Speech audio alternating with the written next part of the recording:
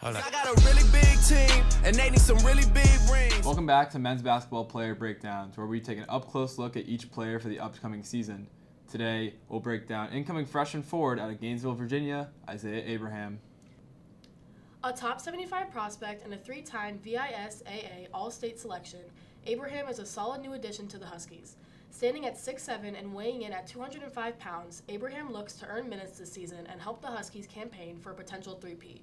During his senior season, Abraham helped lead his team to a 35 3 record as they ascended to number one in the Max Preps national rankings and reached the title game of the Chipotle National Championship, where his team fell to fellow Husky Liam McNeely and Montverde Academy. Abraham may not see a huge role with the Huskies early on, but he'll definitely be able to learn a lot from the experienced players on the roster. In particular, I think Abraham can learn a lot from Alex Karaban as they have a similar playing style and abilities. Abraham can play both as a guard and a forward, which combined with his stellar court vision could provide some valuable versatility off the bench. He has a lot of raw talent and could definitely see himself in a 2023 Jaylin Stewart situation where he sees his role increase as the season progresses. That's all for this episode of Men's Basketball Player Breakdowns.